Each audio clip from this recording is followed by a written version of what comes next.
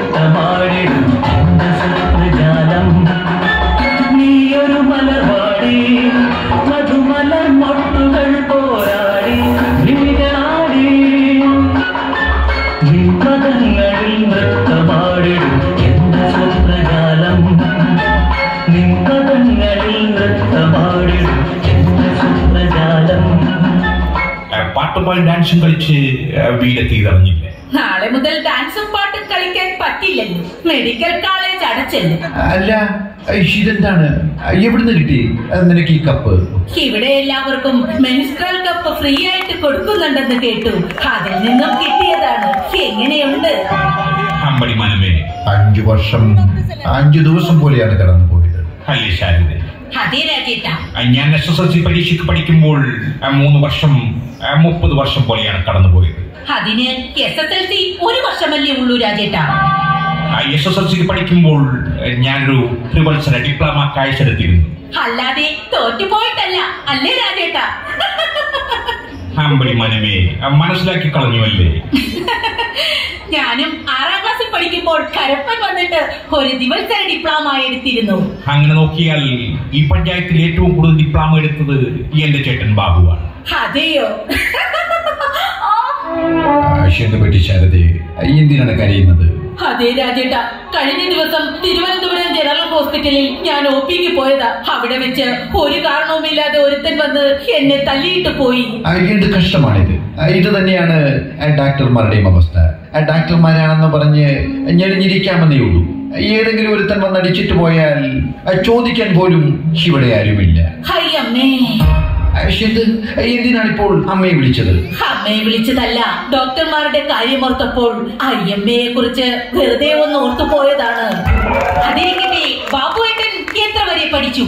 അഞ്ചാം ക്ലാസ്സിൽ വെച്ച് എന്റെ ചേട്ടന്റെ പഠിപ്പ് നിർത്തേണ്ടി വന്നു അയ്യോ കഷ്ടം. കുടുംബത്തിലെ പ്രാരാബ്ധം കാരണമായിരിക്കും ബാബുവേട്ടന് പഠിത്തം നിർത്തേണ്ടി വന്നത്. അല്ലേ രാജേട്ടാ? അല്ല ശാരദ ആ മാനസിക സമ്മർദ്ദം കൊണ്ടാണ് എന്റെ ചേട്ടൻ പഠിത്തം നിർത്തിയത്. എന്ത് മാനസിക സമ്മർദ്ദം? പറയൂ രാജേട്ടാ പറയൂ. ഇരുപത്തി ആറ് വയസ്സുള്ള ചെറുപ്പക്കാരൻ അഞ്ചാം ക്ലാസ്സിൽ പഠിക്കുന്നതിനെ പറ്റി ചിന്തിക്കാൻ കഴിയുമോ ശാരദ? പറയൂ ശാരദ പറയൂ. എന്ത്? ഇരുപത്തിയാറാം വയസ്സിൽ ബാബുവേട്ടൻ അഞ്ചാം ക്ലാസ്സിലായിരുന്നു. അന്നത്തെ വിദ്യാഭ്യാസ മന്ത്രി നേരിട്ടിടപെട്ടാണ് എന്റെ ബാബുവേട്ടന്റെ പഠിത്തം നിർത്തിച്ചത്. ആ പഠിപ്പ് നിർത്തിയാൽ I S S L C book free ആയിട്ട് തരാമെന്ന് വരെ മന്ത്രി ഓഫർ കൊടുത്തു. അഭിമാനിയായ എന്റെ ചേട്ടൻ അത് കൈപ്പറ്റിയില്ല. അന്തസ് ആഭിജാത്യം ആ കുലമഹിമ ഓ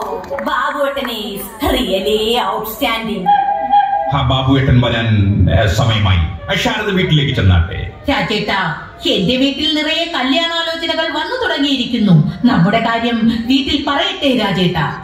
ശാരദ വലിയൊരു പണക്കാരന്റെ മകളാണ്.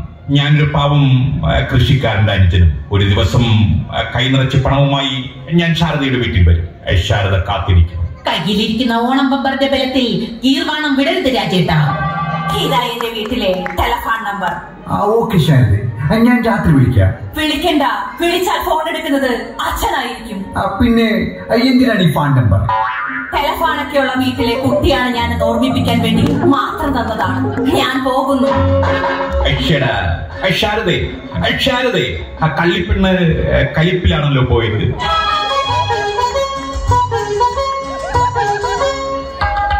സ്വർഗായിക്ക് ഇതിലേ ഇതിലേ സ്വപ്നലോലുപേ ഇതിലേ ഇതിലേ ഹൃദയമണിയറയിൽ നിന്നൻ കൽപ്പന മധുര ഭാഷിണിയാ മന്ത്രിക്കുന്നു സ്വർഗായിക്കേ നീ കളഞ്ഞിട്ട് നേരത്തെയാണല്ലോ. നോയിക്കേ അല്ല പട്ടി നിന്നെ ഓടിച്ചോ? വേഗത്തിലിങ്ങോട്ട് പോലെ. അത് പിന്നെ ബാബു കേട്ട ഞാൻ എന്റെ കൂട്ടുകാരൻ ദാമോദരക്കുറുപ്പിന്റെ ബൈക്കിലാണ് വന്നത്. അതാണ് ഞാൻ നേരത്തെ വന്നത്. സന്ധ്യ കഴിഞ്ഞാൽ അവന്റെ കൂടെ സൈക്കിൾ ചുറ്റണ്ട. അതെന്താ ചേട്ടാ അങ്ങനെ പറഞ്ഞത്? അവന്റെ സൈക്കിളിൽ ഡൈനാമോ ഇല്ല.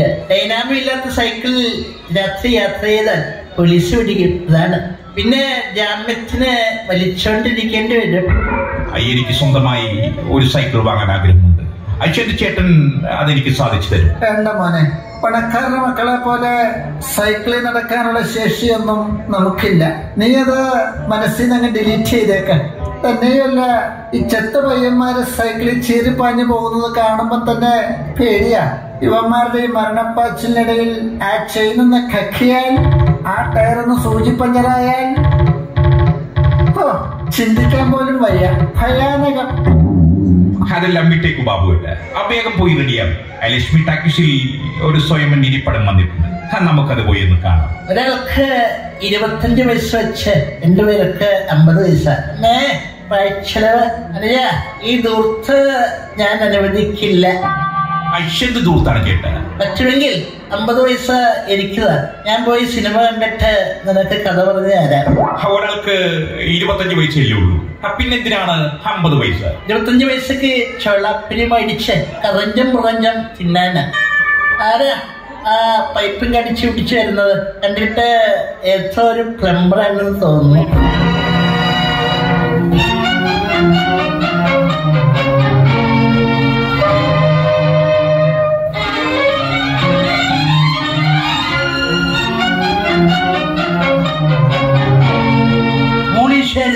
ഇതാണ് നീ കണ്ടുപിടിച്ച രാജകുമാരന്റെ കൊട്ടാരം.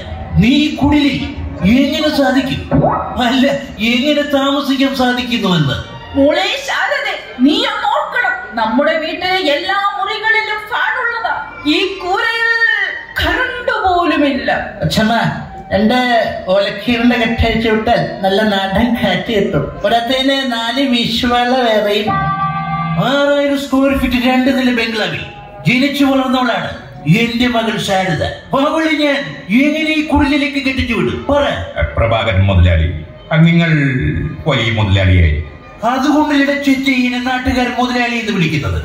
പക്ഷേ നിങ്ങളൊന്ന് ഓർക്കണം. ആറായിരം സ്ക്വയർ ഫീറ്റ് വീട്ടിൽ കിടന്ന നിങ്ങളും ഈ ചട്ടക്കുടിയിൽ കിടക്കുന്ന ഞങ്ങളും ആ പതിനായിരം സ്ക്വയർ ഫീറ്റുള്ള ആ പള്ളിക്കൂടത്തിന്റെ ദുരിതാശ്വാസ ക്യാമ്പിൽ ഒരുമിച്ച് കിടന്നത് മറന്നോ നിങ്ങൾ?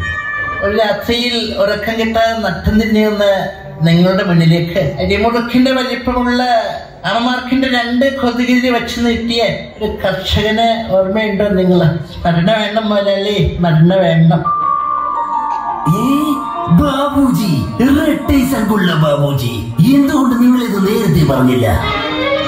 മോളി നിനക്ക് ഓർമ്മയുണ്ടോ?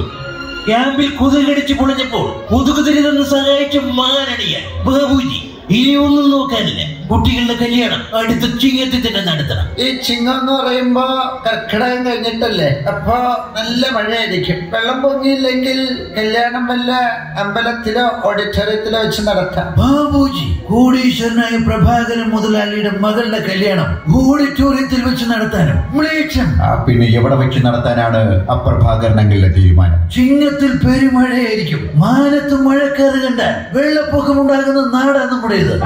ഏ മിസ്റ്റർ സസ്പെൻസിലാതെ കുട്ടികളുടെ കല്യാണം എവിടെ വെച്ച് നടത്താൻ പറ്റുമെന്ന് പറയും. സംശയമൊന്നും വേണ്ട. പെരുമഴയല്ലേ കുരുട്ടിക്കാട് യു പി സ്കൂളിന്റെ ദുരിതാശ്വാസ ക്യാമ്പിൽ വെച്ച് നടത്താം. അതാകുമ്പോ സദ്യയും കാശും ലാഭിക്കാം. വരുന്നവർക്ക് പച്ചറൊട്ടിയും പച്ചവെള്ളവും കൊടുത്താ പോരെ. മച്ചാനെ നമുക്കത് പോരെ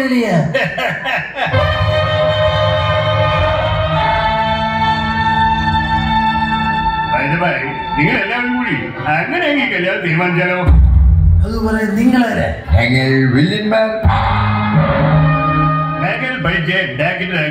എന്റെ ഹസ്ബൻഡിൽ ജോലി ചെയ്യിപ്പിക്കാമെന്ന് മിസ്റ്റർ കുറുപ്പണിക്ക് വാക്ക് തന്നത് മറന്നുവെന്ന് തോന്നുന്നു. അതിപ്പോ കുഴപ്പമില്ലല്ലോ. കല്യാണം കഴിഞ്ഞാലും രണ്ടുപേർക്കും കൂടി അവിടെ ജോലി ചെയ്യാലോ വെറും എം ബി ബി എസ് ആയ നിന്റെ അനിയനെ എന്റെ മുതല കുഞ്ഞുങ്ങളെ നോക്കാൻ വിടാം. എനിക്ക് വേണ്ടത്. ഇവിടെയാണ് എന്താ ഇത് നിന്റെ അനിയൻ അവിടെ കെട്ടി പിള്ളേരെ ഉണ്ടാക്കി അവളുടെ കരിയർ നശിപ്പിക്കും. കുടുംബത്തിൽ കയറി വന്ന് അനാവശ്യം പറയുന്നു. ഇവിടെ വന്ന് വലിയ ഹീറോ ആവാൻ സീറോ ആകാതെ വേഗം സ്ഥലം വിട്ടോ. അങ്ങനെ വിട്ടാലോ? എന്റെ കൈകരുത് വേണമെങ്കിൽ നമുക്ക് തീർക്കാം. അശ്വര ഇത് വലിയ ശല്യമായല്ലോ. അങ്ങനെയാണെങ്കിൽ നമുക്ക് തല്ലി തീർക്കാം. ആ, വലിനട. നിന്നെയൊക്കെ തല്ലാൻ വേണ്ടിയാണ്. ഞാൻ ഇവിടെയൊക്കെ ഈ ജിപ്പ് ഓട്ടുന്നത് രാഘവൻ പിള്ളേ. മുതലനെ എന്നെ വിളിച്ചു. ഇവിടെ അങ്ങ് തീർത്തേക്കണ പയ്യൻസ് നീ എന്റെ ഒരു തല്ലുമില്ലല്ലോടാ. ആഷിന്ത് നീ എന്നെ വെല്ലുവിളിക്കുന്നു. എങ്കിൽ നമുക്കൊരു കൈ നോക്കാം. വാടാ. ഒരീനടാ. അടിഷ് അടിഷ് അടിഷ് ആ, വീണ് കിടക്കുന്നവരെ അടിക്കാൻ പാടില്ല എന്നാണ് എന്റെ അമ്മ എന്നെ പഠിപ്പിച്ചിട്ടുള്ളത്. ആ,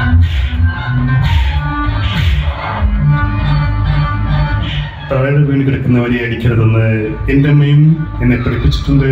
കമോൺ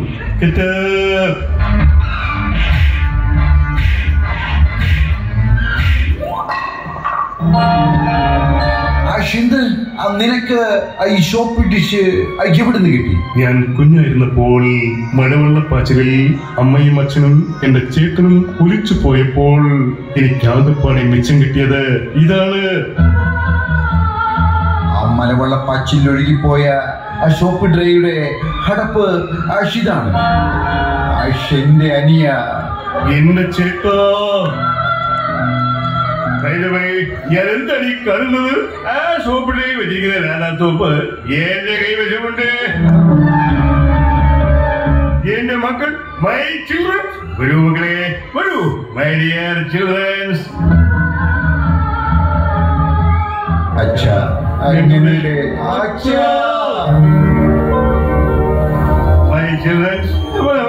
ഈ കല്യാണം ആഘോഷമാക്കി മാറ്റാം let us celebrate it. Uh,